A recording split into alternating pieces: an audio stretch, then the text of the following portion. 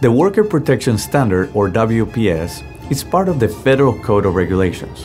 While farm owners and their immediate family are exempt from some of these regulations, law mandates that agricultural employers inform and train their farm workers in pesticide safety once a year. This video will give you a better understanding of the potential risks associated with your work. It will also inform you of what you can do to protect your health, the health of your co-workers, and the health of your families from pesticides and pesticide residues at your worksite. In addition, this video lets you know what your employer would do to protect you from pesticide contamination in the workplace. To protect the crops on our farms, we use products known as pesticides. These are applied as liquids, sprays, powders, granules, or gases. Pesticides are often hard to detect after they have been applied, but remains of that pesticide or pesticide residue may still be found in and around the treated area. During your workday, you may come into contact with pesticide residues. These may be found on the leaves, stems, fruits and vegetables of treated plants, on application equipment, on some irrigation equipment, and on empty pesticide containers. You may also come into contact with pesticide residues in irrigation water, in areas used for storing, mixing, and handling the pesticides, and in the soil. You may also find pesticides and or pesticide residues in the air as dust, vapors, or as drift when a nearby pesticide application spreads beyond the application site. Pesticide exposure can be hazardous to children and pregnant women. Keep all non working family members and children away from areas where they may risk exposure to pesticides and pesticide residues. Empty pesticide containers are never completely free of pesticide residue. Never take a pesticide container home with you. If you come across a pesticide container while you're working, tell your supervisor. The contact you have with a pesticide or pesticide residue is what we call pesticide exposure and may harm some people more than others. Pesticide exposure may result in short term or long term illness or injury. This can be the result of a single significant exposure or several smaller exposures. The toxicity of a pesticide is different for different pesticides and refers to the potential harm it can have on your health.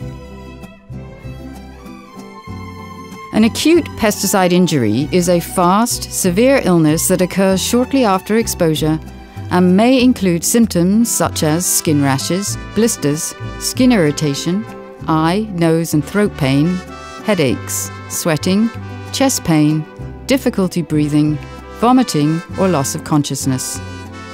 This can be serious, requiring medical treatment, absence from work, and even death.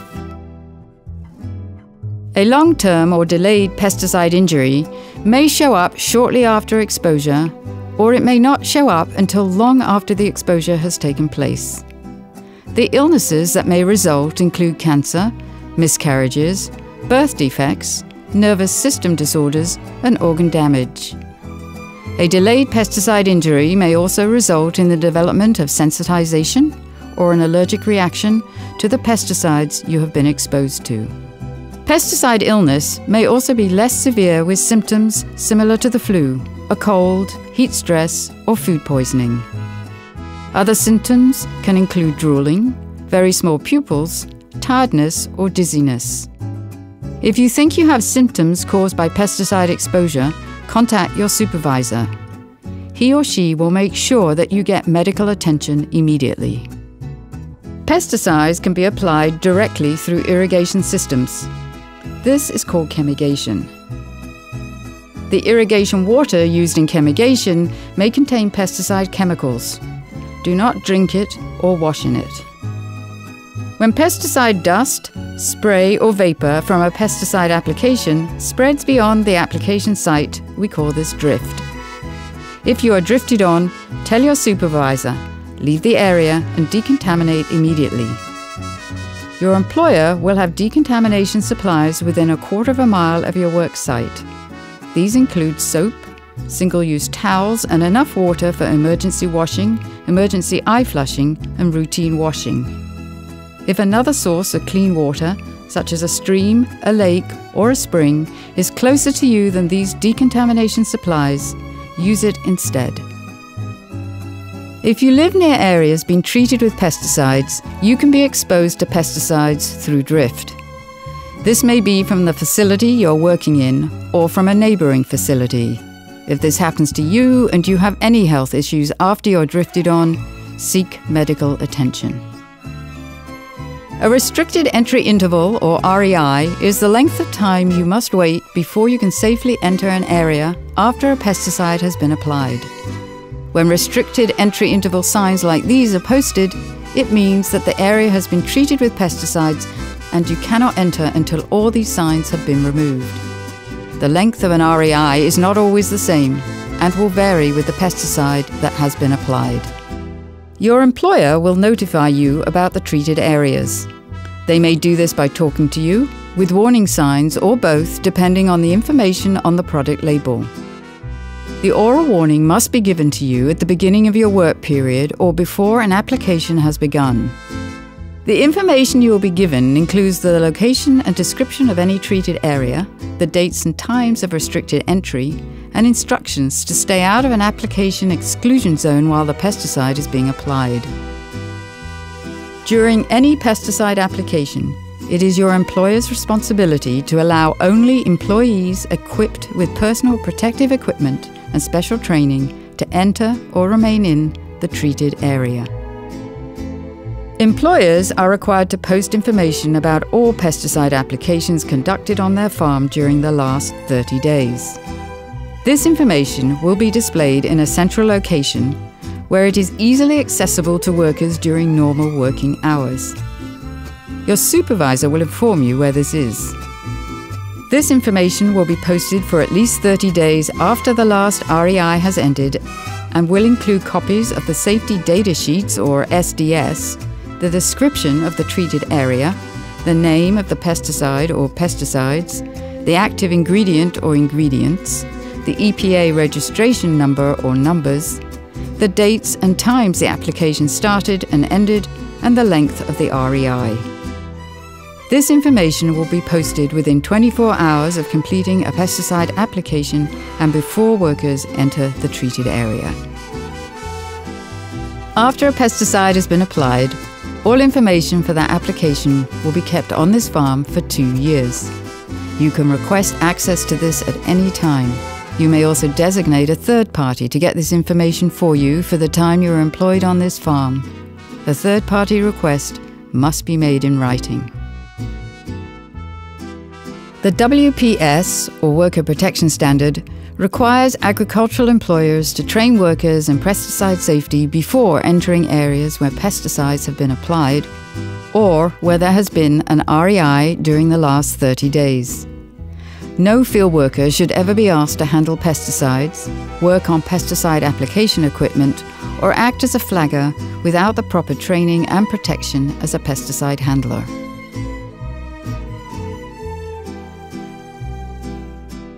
In some instances, your employer may ask you to work in a treated area before the expiration of an REI. This is called early entry work. To do early entry work, you must be at least 18 years old. Your employer must give you additional instruction and information about the hazards of the pesticide that was applied and the tasks you have been asked to do. You will also be provided with personal protective equipment and the instruction on how to use and remove it properly. Pesticides can enter your body through your skin, your eyes, your nose, and your mouth. Many pesticide exposures and injuries in agriculture are the result of pesticides entering the body through the skin. This happens when your skin comes in direct contact with treated plants, soil, irrigation water, farming equipment, dirty hands, and dirty work clothes. Pesticides can get into your eyes from pesticide drift, contaminated dust, contaminated plant material, and contact with your hands. Breathing in pesticide vapors, mist, or dust through your nose may occur in the event of drift, or if you enter a treated area before and after the REI has ended. The risk of transferring pesticide residues from your hands to your mouth is very real.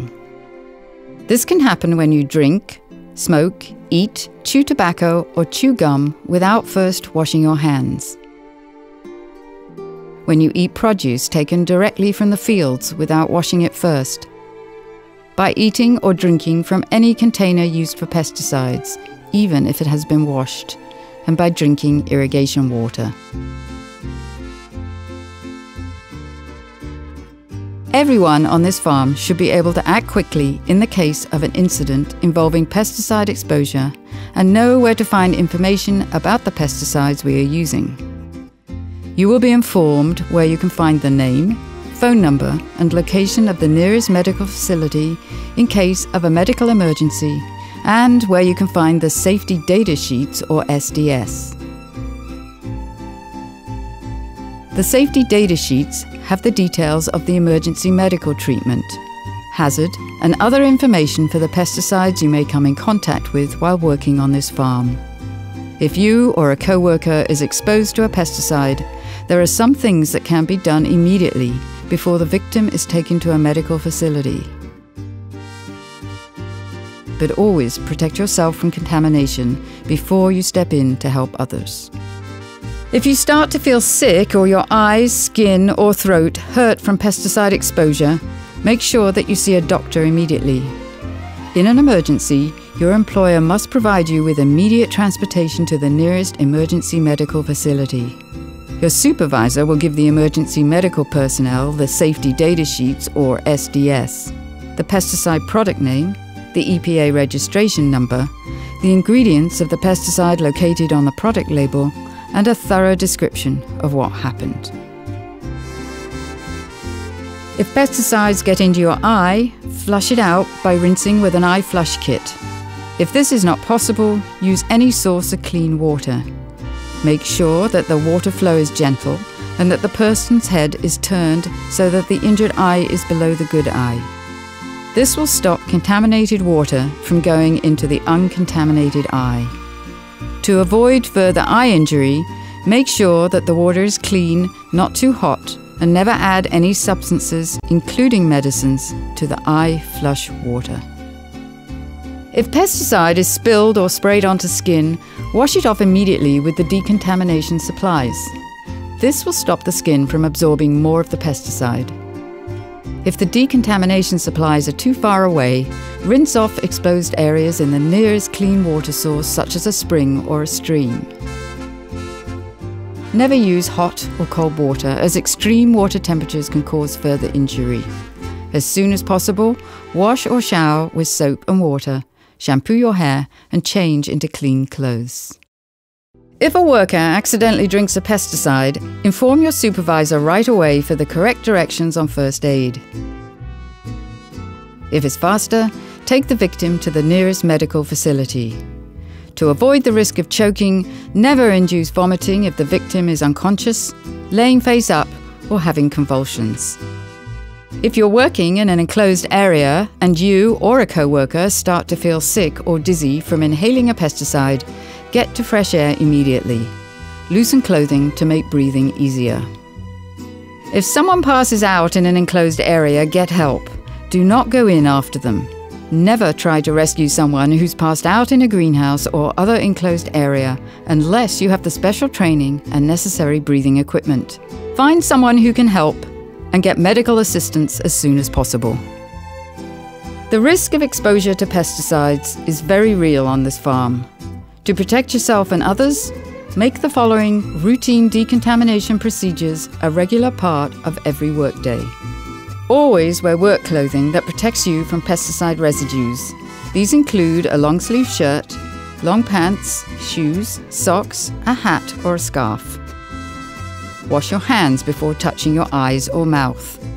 Wash your hands before eating, drinking, smoking, chewing gum, chewing tobacco, or using the toilet while at work. As soon as possible, Take a shower or bathe after your workday. Wash your hair with shampoo and soap and change into clean clothes before you have any physical contact with children and your family. To avoid bringing pesticide residues into your home, we recommend you routinely remove your work shoes before entering your home. Wash your work clothes before wearing them again. Put your work clothes into a bag to prevent others from coming into contact with them and wash them separately from all other laundry. Tell the person washing your clothes that they may have pesticide residue on them. Your facility may be inspected by a pesticide inspector. You cannot be retaliated against for participating in an interview during this inspection, nor can you be retaliated against for complying or attempting to comply with the Worker Protection Standard. The pesticide safety information posted at this facility lists who you can contact if this happens to you. If you suspect that there has been a pesticide use violation, report it to the nearest state or tribal agency responsible for pesticide enforcement.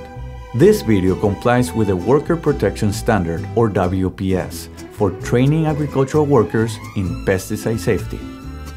While you will not be applying or working directly with pesticides, you will be working on or near treated areas. Everything in this video applies to you and is for your own protection, the protection of your co-workers, and the protection of your families. If you have questions, ask them. The pesticide safety trainer giving you this training will answer any questions you have. And remember, understanding how to best protect yourself also protects your family, the people you work with, the food we all eat, and the industry that we all depend on.